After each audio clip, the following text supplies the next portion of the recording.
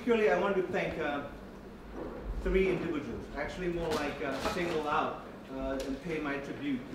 One is um, you know, uh, Nurul Islam, who has uh, fed um, all kinds of historical documentations because he's the man who has been involved most of his life, you know, uh, 50 plus years in this cause. Um, without Nurul's help, I and my wife, Natalie, who will be speaking here tomorrow, will not be able to conduct uh, what we have uh, conducted. Um, and then the second person, uh, who's no longer uh, here in this world, is my uh, thesis advisor. He was the um, American military intelligence officer and German English interpreter uh, who interrogated the um, SS officers in 1945 and also he wrote his PhD dissertation on SS and particularly Heinrich Himmler. Uh, uh, so without, I studied under him for six years at Wisconsin and he sensitized me to the issue of mass atrocities. And his work was uh, one of the pioneering works uh, published in 1950s when uh, you know the archives were not yet uh, scavenged properly. And um, uh, the third one is my wife who will speak because I was Burmese, Buddhist, came from a family that has served in the armed forces, which is now the instrument of genocide. since its inception in 1942-43 during the Second World War under fascist patronage. And I was also a military officer, uh, cadet admit at the age of 19, uh, sorry, at the age of 16 in 1979. And so had I stayed the course, meaning I joined the armed forces, I, you know, I would be uh, the, one of the military commanders either committing atrocities or issuing commands because my contemporaries are shoe-ins for the next uh, commander-in-chief in their uh, mid-50s. That said, I have five points I want to um, uh, speak on. Uh, Chris Sidoti um, has very admirably, uh, you know, shared his uh, findings, the uh, fact-finding mission findings with all of us this morning. So I will stay away from um, the genocide legal coding, the intent, and also what I think is a deeply flawed uh, interstate treaty, Genocide Convention. And and most of you know there are two major documents that were adopted in 1948 on December 9th and December 10th. The 9th was the Genocide Convention, and the, uh, the 10th was the Universal Declaration of Human Rights. Uh, and these documents were shelved for the next 50 years because of the Cold War. And that, you know, the, the architects of the United Nations or the current interstate system did not mean it when they say human rights or prevention or punishment of genocide. The, the Genocide Convention with uh, respect to the Rohingya,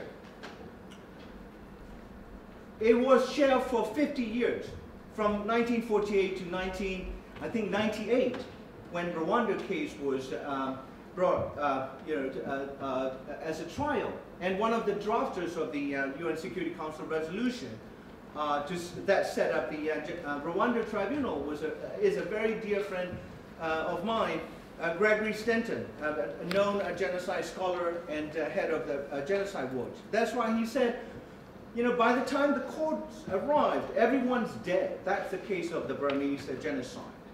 And that has been the case of all genocide. Name a single continent that human lives where we have not witnessed experienced or undergone a genocide. Name anyone.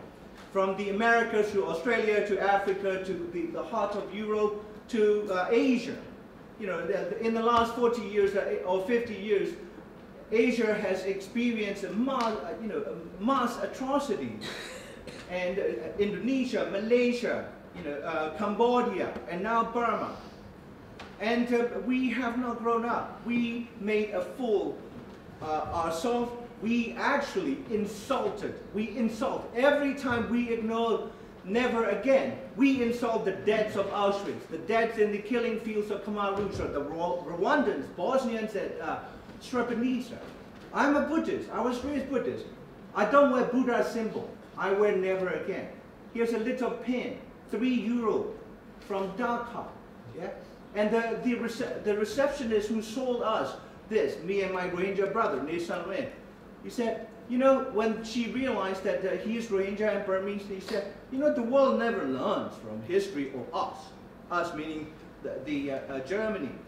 So the, the conception is simple, straightforward, and there's no legal splitting. Genocide essentially means intentional destruction of a national community, a, a group, a, a group of popu people, population, multiply from the very foundation of physical existence to the spiritual foundations, you know, what type of God they worship or godlessness that they embrace. Yeah? And that's why like when uh, lawyers and uh, scholars debate whether there is genocidal intent, but the most brilliant response to that conceptually, I'm a social scientist and not a lawyer, so I won't speak legal, legally. Amartya Sen and I shared a panel at Harvard in uh, 2014, November.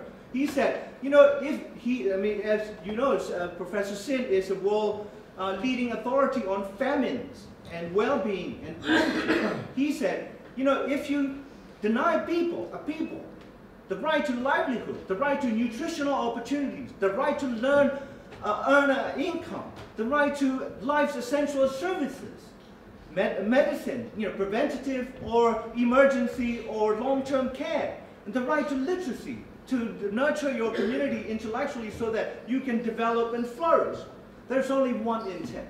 There's only one intent to have done all of that. And my country, Myanmar, has done all of that. And this is not new. Genocide did not begin with the killings, you know, under the false pretext of responding to quote-unquote Islamic or Muslim terrorists on August 24th or 25th, 2017 the genocide began and evolved. The Genocide began as an attempt by Myanmar military leadership that have adopted anti-Muslim, anti-foreign racism as an institutionalized uh, policy since 1962. Uh, Rohingyas existed 10 years after the um, French Revolution the Rohingya existed as a, a, a cohesive community. This is from the Asiatic uh, Research Society uh, conference held in uh, Calcutta, 1799. Citizenship law. Burmese citizenship law was adopted, or, or like the, um, this is the con original constitution. Four elements of citizenship. Three are related to blood. One is on geographic residency. Anyone who existed within the territories of British Empire at the time of uh, the independence transfer will be entitled.